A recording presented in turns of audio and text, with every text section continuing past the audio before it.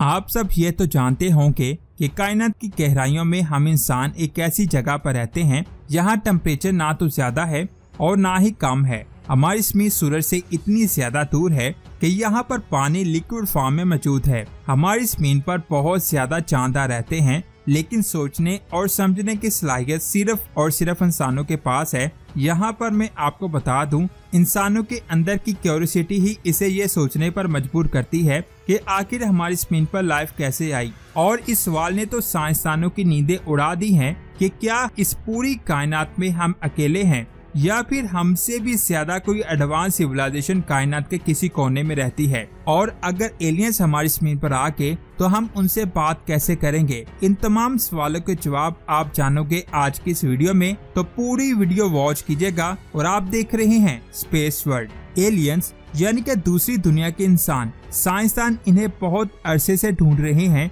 लेकिन आज तक हमें ऐसा कोई भी एविडेंस नहीं मिला जो इस बात का ठोस सबूत देता हो कि हाँ हमारी कायनात में एलियंस मौजूद हैं। यहाँ पर एक सवाल आता है साइंस फिक्शन मूवीज़ में हम जो एलियंस देखते हैं, क्या हकीकत में भी वो ऐसे ही होते हैं या फिर उससे भी बहुत ज़्यादा मुख्तलिफ़ होंगे ये बात आप जान लें, इन सवालों के जवाब ढूंढना अभी तक नामुमकिन है जून 2021 में अमेरिका की गवर्नमेंट ने यूएफओ से रिलेटेड एक रिपोर्ट जारी की थी, जिसमें ये कहा गया था कि अब तक ज़मीन पर एलियंस के आने के सबूत नहीं मिले लेकिन इस रिपोर्ट में एलियंस की मौजूदगी से इनकार भी नहीं किया गया था। हमारे सोलर सिस्टम के जितने भी सियारों को आज तक स्टडी किया गया है साइंसदानों के मुताबिक उनमें से कुछ सियारों पर लाइफ पॉसिबल हो सकती है, लेकिन इसके बारे में भी कंफर्म नहीं कहा जा सकता। इसके बाद बात करते हैं हमारे करीबी सोलर सिस्टम अल्फ़ा संटोरी की। अल्फ़ा संटोरी हमारी ज़मीन से चार लाइट ईयर दूर मौजूद है। फ्यूचर में साइंसदान यहाँ पर लाइफ को ढूँढने के लिए मिशन भेजेंगे। यहाँ पर एक सवाल आता है,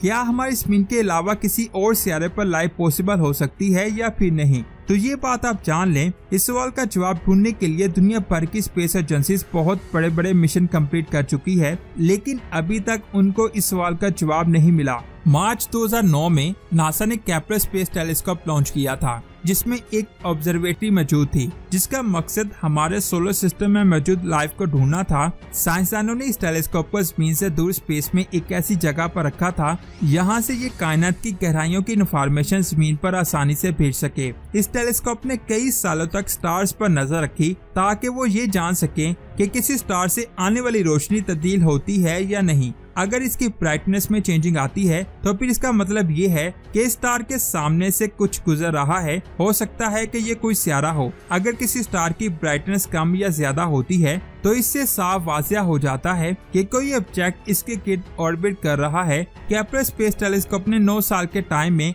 हमारे सोलर सिस्टम से बाहर छब्बीस सौ सियारों को ढूंढा था, लेकिन फिर भी सवाल वही है, आखिर इनमें से कितने सियारों पर लाइफ मौजूद है? अभी तक साइंसदान सिर्फ़ अंदाज़ा ही लगा रहे हैं, क्योंकि वो ये नहीं जानते कि दूसरे सियारों पर लाइफ किन कंडीशन में हो सकती है, क्योंकि हमने तो सिर्फ़ ज़मीन की लाइफ को ही देखा है अगर कोई सियारा अपने स्टार के हैबिटेबल जोन में आता है तो फिर हम ये कह सकते हैं कि उस सियारे पर लाइफ मौजूद हो सकती है। अगर हम अपनी मिल्की वे गैलेक्सी को देखें तो इसमें ऐसे 30 करोड़ सियारे हो सकते हैं, लेकिन हम इंसानों का ये सोचना बहुत बड़ी गलती हो सकती है कि लाइफ सिर्फ़ ज़मीन के इन्वायरमेंट जैसे इन्वायरमेंट में हो सकती है। ये बात आप जान लें, कुछ साल पहले साइंसदानों ने एक ऐसे जानदार को ढूंढा जो हर तरह की कंडीशन में भी ज़िंदा रह सकता है, ये जानदार जो आप अपनी स्क्रीन पर देख रहे हैं, इसका नाम टर्डी ग्रेड है, जो उबलते हुए पानी में भी ज़िंदा रह सकता है। यहाँ तक कि ये जानदार समुद्र की गहराई में भी ज़िंदा रह सकता है और स्पेस के अंधेरों में भी ज़िंदा रह सकता है।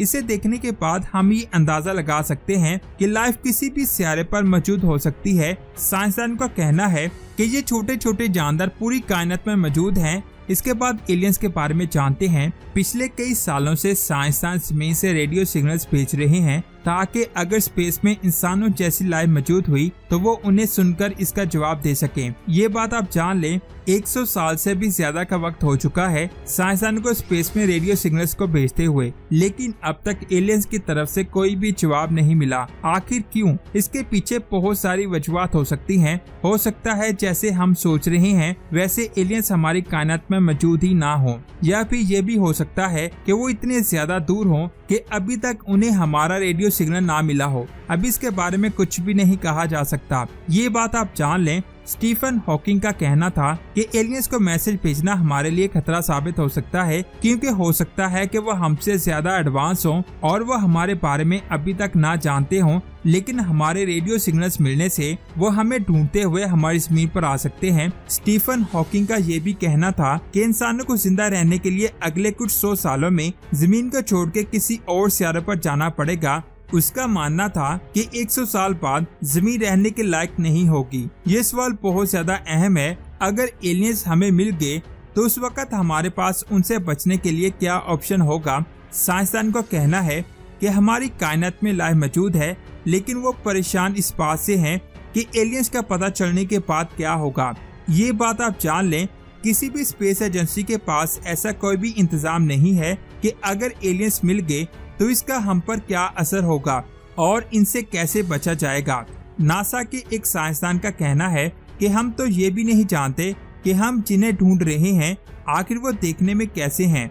हम ये नहीं कह सकते कि एलियंस अच्छे होंगे हो सकता है कि वो हमारी स्क्रीन पर आने के बाद हम इंसान को खत्म कर दें, और ये भी हो सकता है कि जिन एलियंस को हम ढूंढ रहे हैं, वो हमें ही ढूंढ रहे हों। यहाँ पर एक सवाल आता है, आखिर हम उनसे बात कैसे करेंगे?